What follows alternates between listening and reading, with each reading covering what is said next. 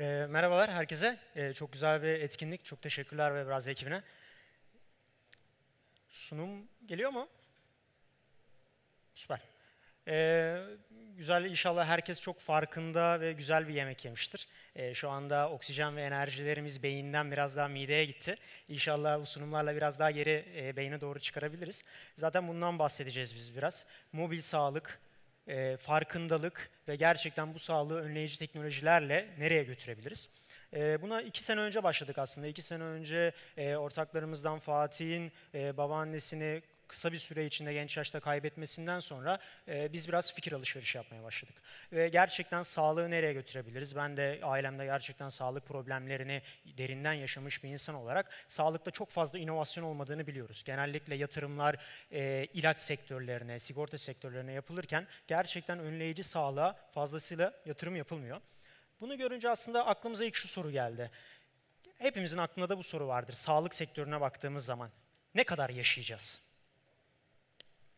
Burada hem bir güzel hem de bir kötü haberimiz var aslında. Ee, yaşam beklentisi inanılmaz bir şekilde artıyor. Yani 1900'lerde 31 yıl olan yaşam beklentisi şu anda 82'lere çıkmış durumda. Bunda tabii ki yapılan yatırımları e, öngörebiliyoruz. Çünkü eskiden hemen öldüren bir hastalık şu anda antibiyotiklerin etkisiyle aslında çok kısa bir süre çok kısa bir süre içinde çözülebiliyor.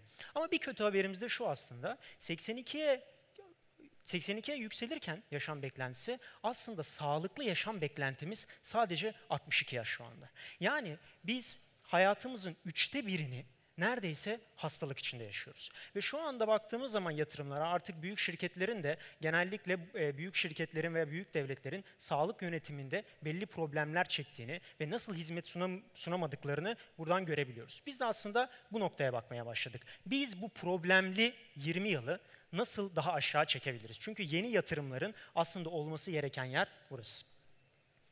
Biraz daha istatistiklere girdiğimiz zaman aslında bu istatistikler bize tam bunu gösteriyor. Aşağıda gördüğünüz kalp rahatsızlıkları, kanser, diyabet, solunum yolu problemleri aslında en çok ölüme sebep olan hastalıklar arasında. Ve bu hastalıkların %64'ü aslında önlenilebilir hastalıklar. Erken teşhis veya daha öncesiyle önlenebilir hastalıklardan oluşuyor günlük yaşamdaki yaptıklarımız yani hastalığa gelmeden önceki yaptıklarımıza baktığımız zaman ise bu hastalıklardaki günlük alışkanlıkların rolü yüzde doksanlarda. E peki yatırımları en çok yaptığımız yere bakıyoruz. Gerçekten ilaç endüstrisi bunları hasta olduktan sonra düzeltmeye çalıştığımız endüstrinin işte statin gibi kolesterol tansiyon ilaçlarının e, hastalıkları engelleme oranı %20 ile 30 arasında. Bu bize şu soruyu sorduruyor. Biz yatırımı bundan sonra nereye yapmamız gerekiyor? Gerçekten toplum sağlığını bu 62 yukarı çekmek için ne gibi yatırımlar yapmamız lazım? Bunu sorunca aslında şöyle bir nokta geldi. Neden gerçekten yatırımlar bu yöne yapılmıyor veya neden doğru çözümler yok? Çünkü şu ana kadarki çözümler genellikle bizim fiziksel sağlığımızı korumamıza yönelikken aslında biz en büyük noktayı kaçırıyoruz. Bu da neden insanlar daha sağlıklı yaşamıyorlar? Neden biz kendi hayatımızda daha sağlıklı hastalığımız olmadan aksiyon alamıyoruz? Bu yaptığımız araştırmada da insanlarla gittik, konuştuk, davranışlarını inceledik, e, danışman ekibimizle beraber konuştuk ve şunu bulduk. Biz sağlığımızı, sağlığımız bozulana kadar hiçbir şekilde dikkate almıyoruz. Kötü oturuyoruz, ondan sonra belimiz, belimiz ağrıdıktan sonra bel programları yapmaya çalışıyoruz. Veya aynı şekilde şeker problemleri çekiyoruz, ondan sonra beslenmemize dikkat etmeye çalışıyoruz. Yani biz bireyler olarak günlük hayatta farkında değiliz. Ne yediğimizin farkında değiliz, nasıl oturduğumuzun farkında değiliz ve bir problem yaşamamız gerekiyor bunun farkında olmak için. Bununla alakalı gerçekten bu farkındalığı arttırıcı ne çözüm sunabiliriz diye baktığımız zaman aslında bizim şu anda yapmak istediğimiz genel vizyonumuz ortaya çıktı. Günlük hayattaki farkındalığımızı arttırarak önleyici çözümlerle sağlığın bozulmadan önce korunmasına yardımcı olmak. Böyle bir çözüm bulduktan sonra, böyle bir e, vizyon bulduktan sonra aslında şunu sorduk. Bir e, birkaç tane odak grup topladık ve şunu merak ettik. Sizin hayatınızda gerçekten hangi aktörler olsa siz hayatınızı daha sağlıklı bir şekilde devam ettirirdiniz ve daha farkında bir şekilde yaşayarak, ne yediğinizin daha farkında, nasıl hasta olmayacağınızın daha farkında, nasıl oturacağınızın daha farkında bir şekilde geliştirebilirdiniz. Burada üç tane aktör bizim karşımıza çıktı. Bir, anne. Herkesin bir anneye ihtiyacı var. Sabah kalktığı zaman gerçekten havanın soğuk olduğunu söyleyecek. Veya e, bir problem çektiği zaman onu bir çorbayla veya nasıl hayatını devam etmesi gerektiğiyle alakalı farkında olmadığı zaman yönlendirecek bir anneye ihtiyacımız var. İkincisi bizim motivasyonumuzu sağlayacak bir kişisel antrenöre ihtiyacımız var. Yapamadığımız, kilo veremiyoruz veya sağlıklı bir şekilde yaşamadığımız noktada yaparsın diyecek bir şeye ihtiyaç var. Birine ihtiyaç var. Aynı zamanda üçüncüsü de insanlar problemler yapıyor. Hepimiz problemler yaşıyoruz. Belli bir anlamda çok stresliyiz, tedirginiz. Bu anlarda da gerçekten doğru bilgiye ihtiyacımız var. İnsanların hayatındaki bu üç faktörü gördüğümüz zaman aslında e, aklımıza biz bir teknoloji şirketiyiz. Gerçekten bunu teknolojiyle nasıl entegre edebiliriz sorusu geldi. Ve burada da aslında bizim şu andaki en temel işimiz olan Longi doğdu. Longi bir akıllı sağlık asistanı. Bu üç kişiyi hayatımızda rolü olan bu üç kişiyi bir araya entegre ettiğimiz ve chatbot teknolojisiyle aslında insanın davranışlarını analiz ettikten sonra ona uygun, doğru zamanda doğru yönlendirmeler yapan bir sanal sağlık asistanı. Veri yönetimi ve derin öğrenme ile beraber insanın ne zaman işte, ne zaman evde, ne zaman yolda, ne zamanları ne yaptığını anlayan, ona göre gerçekten sabah kalktığında bel ağrısı varsa onunla alakalı 2 dakikalık bir egzersiz veren, komple 20 dakikalık bir problem, pro, program değil. Veya gün içinde şeker rahatsızlığı varsa yemek yemeye giderken onu bunu hatırlatan ve bu üç anne, danışman ve aynı zamanda kişisel antrenör görevini gören ve sizle konuşan bir sağlık asistanı. Long insanların ihtiyaçlarını anlayabiliyoruz ve ihtiyaçlarını anlattık, anladıktan sonra da gerçekten zamanında kişisel çözüm sunabiliyoruz. Ve biz şu anda eksik olan şunu hedefliyoruz. Şu anda bedenen çözümler mevcut. Ama biz aslında zihnindeki problemleri çözmeye çalışıyoruz. Bizim genel vücudumuzun farkında olmadığımız zamanlarda, bu hayatta hep koştururken ne zaman bize birileri bir şey hatırlatabilir ki biz daha sağlıklı bir hayatı devam edebiliriz. Böylece sağlığımızı kaybetmeyiz. Asıl noktamız bu.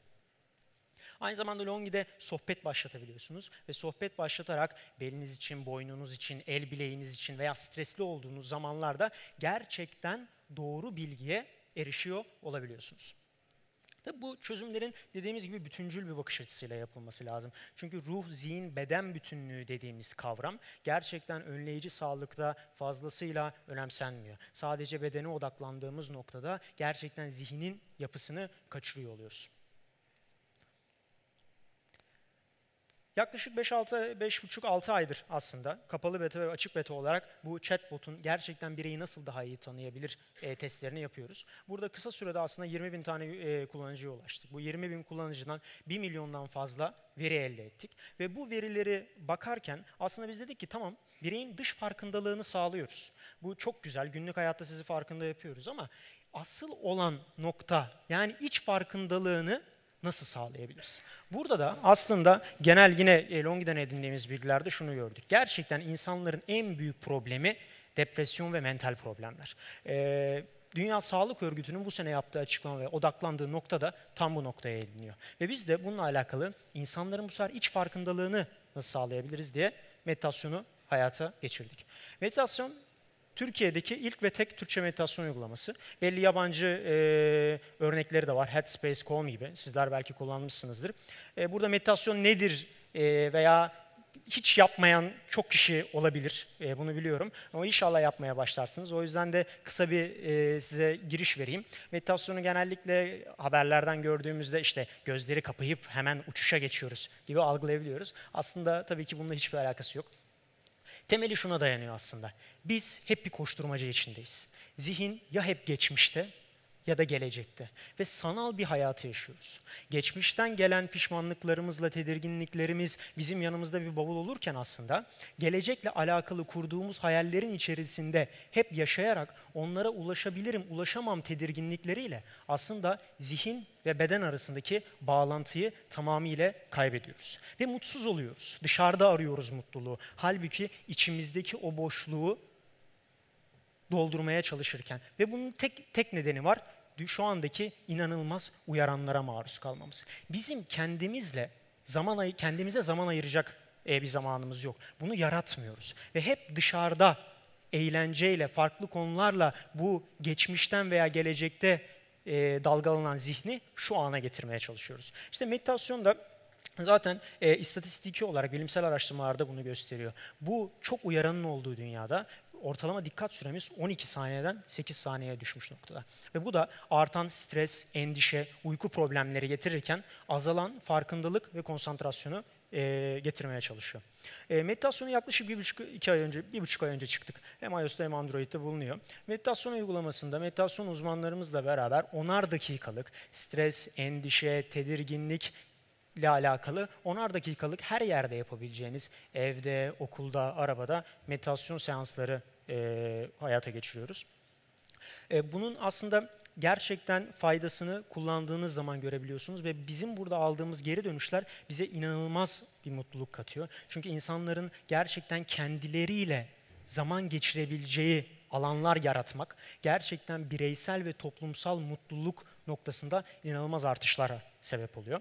E, kısa zamanda bunun da e, meyvesini aslında görmeye başladık. Bunun bizim için meyvesi gerçekten daha fazla kullanıcıya ulaşmaktan çok gerçekten biz daha fazla kişiyi kendiyle zaman geçirmeye, kendi içine dönmeye nasıl ikna edebiliriz? Ve nasıl bu etkiyi yaratarak bugün şu anda bunu yaparken ve yarın bu insanları nasıl daha mutlu kılabiliriz? Bugün 100 bin, yarın 500 bin, öbür gün 1 milyon ve 10 milyon kişiyi biz teknolojiyi kullanarak bir sonraki güne nasıl daha mutlu, huzurlu ve kendiyle barışık olarak çıkarabiliriz. Burada e, erken istatistiklerimizi görüyorsunuz aslında. Bir buçuk ayda yaklaşık 80 bin üyeye ulaştık. Şu ana kadar 800 bin dakika meditasyon yapıldı ve aldığımız e, geri dönüşler aslında bize inanılmaz bir manevi e, hem mutluluk ve bunu daha geliştirmemiz gerektiği ile alakalı e, motivasyon yaratıyor. İçeride de 150'den fazla meditasyon çalışmamız var. Peki bu farkındalık dediğimiz noktada hem iç ve dış farkındalığımızı sağlayan hizmetleri nasıl bir ekip hayata geçiriyor? E, global ve multidisipliner bir ekip olmadan aslında bu zor. Çünkü e, mindfulness ve farkındalık dediğimiz noktalar gerçekten globalde trend olan ve bizim de burada öncülüğünü almak istediğimiz trendler. E, Ali Murat, ben ve Fatih aslında biz bunu iki sene önce hayal ederek bu işe girdik. Ali Murat e, 2025 Arena e, ajansını kurup ödeme altyapıları yazdıktan sonra ekibimize dahil oldu. E, ben de Amerika'da Boeing'de ve burada Intel'de çalıştım ve ondan sonra zaten Koç Üniversitesi'nden tanıştığımız Fatih, o da Doğuş Holding ve farklı holdinglere sağlık alanında danışmanlıklar veriyordu. Bu üç kişinin vizyonuyla oluştu. Ondan sonra ekibimize e, Stanford'da okuyan, e, şu anda mezun olan Naz katıldı. Bizim büyüme ve veri analizimizi yapıyor. Aynı zamanda Ateşli Coşkun'da bizim altyapılarımızı yazıyorlar. Tasarımda Merve'nin olduğu gibi. Ee, biz bu çalışmalarımıza devam ediyoruz ve hızlı bir şekilde büyüyoruz. Ve dediğimiz gibi en temel hedefimiz Türkiye'de gerçekten farkındalığı hem bireysel hem de toplumsal seviyede arttırarak bütün toplumun sağlığının korunmasına en iyi şekilde yardımcı olabilmek. Çünkü artık yatırımları sonraya değil, önceye yapmamız gerekiyor ki biz o 62 yaşları yukarılara doğru çekebilelim. Ee, aynı zamanda burada hem canlı yayını dinleyen hem de siz dinleyenlere e, meditasyon uygulamasını umarım denersiniz. Umarım gerçekten denedikten sonra kendi hayatınızı 10 dakikada ve sonraki faydalarını görebilirsiniz. E, bu web sitesine girip e, Webrazi kodunu yazdığınız zaman da e, size bir aylık ücretsiz bir şekilde bu açılıyor olacak. E, teşekkürler dinlediğiniz için.